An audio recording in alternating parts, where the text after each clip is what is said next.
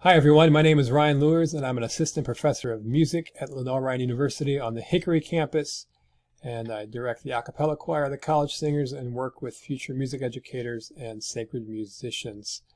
I have degrees from Florida State University, Luther Seminary with St. Olaf College, and Luther College in Decorah, Iowa. This is week nine of this course, and this week we're going to consider how humans connect through art in times of crisis. There will be a particular emphasis on singing, since that's the area in which I have the most experience, but we'll also cover and give you a chance to explore um, instrumental music and visual art and poetry as well. So week nine objectives, which are on the screen. I'm going to ask you to describe the relationship between music making and human social connection. Explore the relationship between music and protest, given all the social unrest right now. We're also going to ask you to summarize the ways in which the current pandemic has impacted artistic expression, both in terms of uh, new art that's been inspired during this time, but also looking at ways uh, art has had to adapt to be transmitted and to connect with audiences.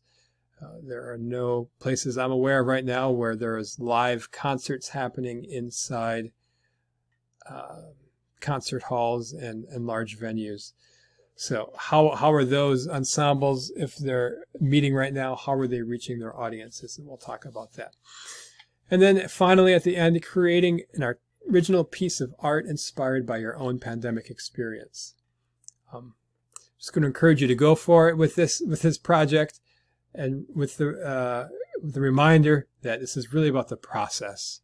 Um, please don't worry too much about what the end product is, but do do spend some time. Um, you have a variety of expressions from which you can choose. Pick one, go for it. Talk about your experience, uh, and don't don't lose sleep over this activity. The content for you is divided into three parts, uh, broken up into three parts, uh, much like the um, the objectives we just looked at. First, we're going to look at music as a means to social connection, talk about that more broadly and then generally, and then specifically as music in protest settings, and then look at COVID era artistic expressions. So there is considerable debate about the necessity of music, if it's a um, something that's needed and critical for human survival, or if it's something that's just kind of nice to have around. For instance, Darwin suggested that its only adaptive purpose is to help facilitate courtship.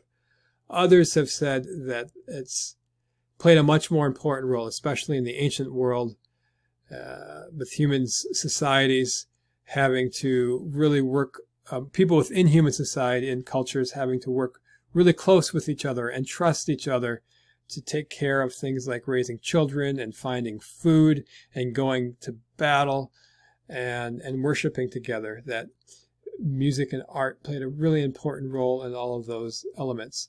Might be harder to argue for the necessity of music in modern society but yet it endures.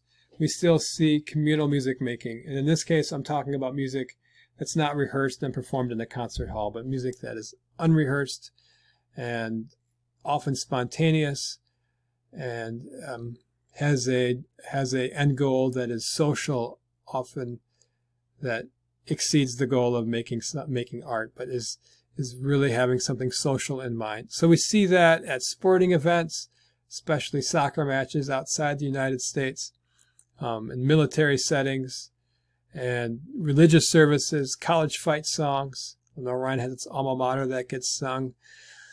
Um, and during the aftermath of natural, national tragedy, which we'll talk about in a moment, and as part of protest movements, which we'll also talk about. On the screen, you see a mother with her, we're going to assume that's a mother with her infant child. Perhaps the most basic, fundamental form of bonding is that between uh, a mother and an infant um, particularly with the mother's voice being what the most familiar sound to an infant. And we see singing from a parent to a child being important when trying to get the baby to fall asleep or trying to calm a baby down. So, and also there's a nurturing bonding that happens during that time.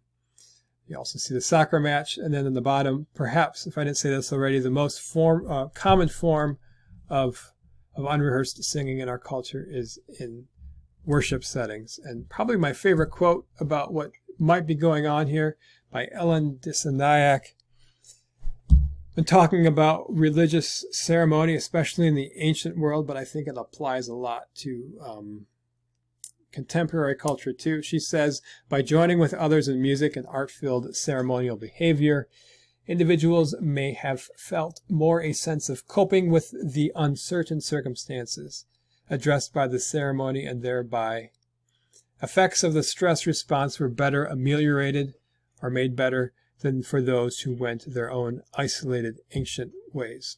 So she's pointing to the phenomenon or the idea that by uh, participating in artistic expression with other people, we feel connected with them. And it's something that's gone on, seems like, throughout um, observable human history. As long as we've been worshiping, we've been doing music and artistic expressions. So underneath this phenomenon, uh, there are some physiological measures that folks have researched and give us a clue of what might be happening. There's a lot more work to be done here, but just some um, some things to consider. First of all, there are increased levels of immuno, immunoglobulin A. I don't say that word very often. I practiced it and it still didn't come out right, but you can read it on the screen. This has been this has been linked to positive social, um, positive social interactions. Also linked with singing is an increased level of oxytocin, uh, a hormone associated with human bonding, sometimes called the trust hormone. And finally, a 2013 study investigated singer heart rates and respiration, and they provided evidence that heart rates and respiration actually begin to sync as people sing together. And then they posed the question, well, if 80% of the neural traffic from um, the heart to the brain goes directly from the heart to the brain, and hearts are being, heart rates are being synchronized with the people around you, does that help you have a common perspective with those around you when you're singing or help forge that? And um, can that actually lead to a change of behavior because you're singing where you're more likely to do the things and feel the same way about something as the people around you. So no conclusive evidence on that, but posing the question, if heart rates are synchronizing, is that impacting how people are thinking and perceiving what's going on around them because they're singing together? So now I'd like to play for you two videos that illustrate what we were just talking about. The first being a vigil after a 2015 Florida State shooting. So I was a student at Florida State at the time. If you look at the picture, you can't see me, but I am in a, a crowd of, a, I don't know, five or 6,000 people attending this event the day after there was a shooting in our university's library. Um, I think three people were shot. One person was paralyzed for life after that. One person died, and that was the shooter himself, who was killed by campus police. So a tragic event um, even if you didn't know the people involved, there was a sense of being violated and a sense of fear and uncertainty when something like that happens on your campus. So the community gathered, you can kind of predict these days what an event like that looks like. The university president spoke. Uh, I think the Tallahassee mayor spoke with similar messages of of um, offering thoughts and condolences to those involved I think some mental health professionals spoke about how we can go about coping in the, the wake of tragedy, such as that there were performances by a choir, the band there that you can see, the marching chiefs, uh, performed some solemn music. So, very predictable event. When it was done, though, as we were leaving towards its end, somebody started the FSU war chant, which is this, you know, tomahawk chop and, and singing together that is usually often reserved for football games, but somebody decided, took it upon themselves to start it in this event. And of course, it wouldn't have been planned because it's it's a war chant, and we're at an event where we are um, trying to grapple with violence on our campus. It seems perhaps not prudent to sing a war chant in response to violence. But anyways, somebody started it, and I'll let you watch the video to see what happens next.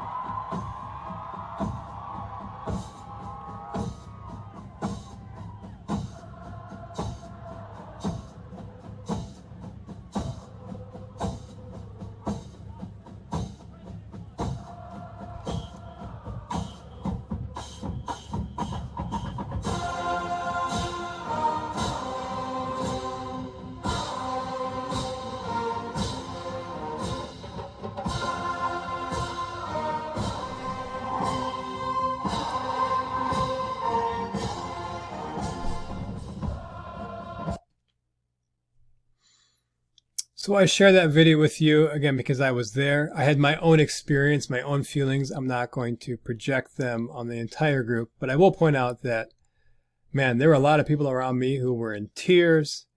There was, I would say, I, it felt like 100% participation, almost like it was involuntary that you were caught up in that moment, that communal expression of song in the wake of that, that tragedy.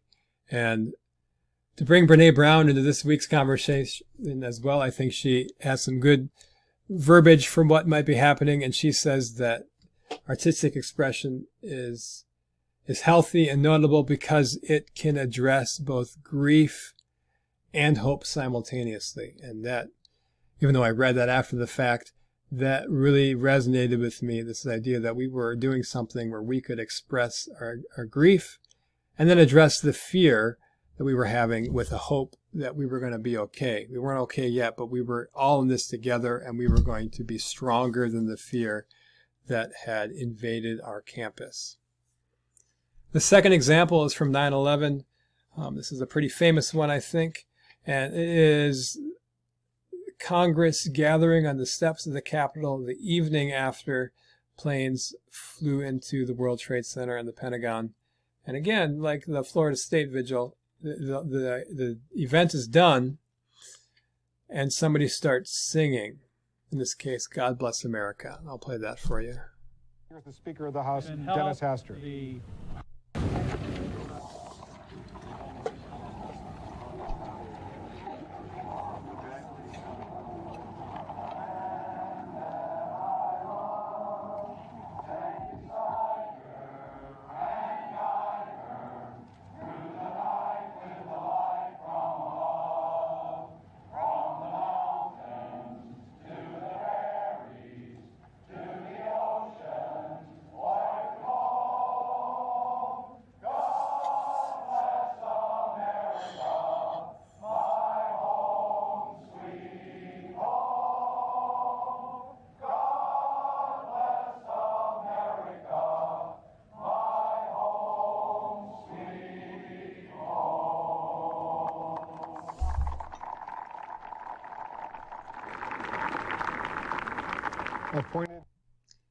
So an important display of, of unity. Democrat, Republican, didn't matter. They were singing together and it was probably one of the most um, horrifying days in our country's recent history. So some similarities between these two events. If you want to pause for a moment and think of yourself, you want to compare and contrast, you can do that. Otherwise, I'm going to uh, propose some similarities for you. Both of them happened in the context of tragedy and uncertainty. In both cases, the music was spontaneous. It wasn't even written down that they were going to happen, from what I could tell. It's somebody just starting it themselves. One person deciding, you know what, I think we should sing right now.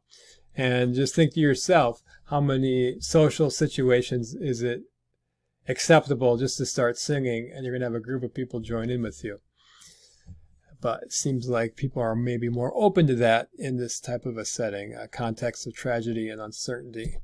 And finally, the music in both cases was familiar, an obvious ingredient necessary for spontaneous participation if you haven't passed out music and you haven't rehearsed it yet. It's sung from memory, which also allows for there to be some social interaction while the singing is going on. You can look at each other and look around you and acknowledge other people. Overall, though, this type of music making, communal music making without rehearsal is rare, especially outside of churches. And it, it, leads us into the next topic, which is singing in protest. And I just want to highlight the reading I have for you before you launch into it. I'm not going to read that whole quote, but um, as you're reading this, reflect on music in your own life. Do you do you find yourself singing with other people in unrehearsed settings? It's one thing if you're from a choir, but uh, does your family sing? Is, do people around you sing in a group? And the author of this article you're about to read is Michael Micah Hendler, and he suggests, uh, in the words that are in the red, that we expect the professionals to do the singing and that we, the audience, should listen and live stream. That seems to be an attitude that's held by many in our culture right now. So keep that in mind as you read this article. And one more thing, please make sure you watch the video in the middle of the article. Ysaye Barnwell leading singing in the context of an actual recent protest. So with that, I'll let you do the reading. I'll see you in a little bit when we get to the second video.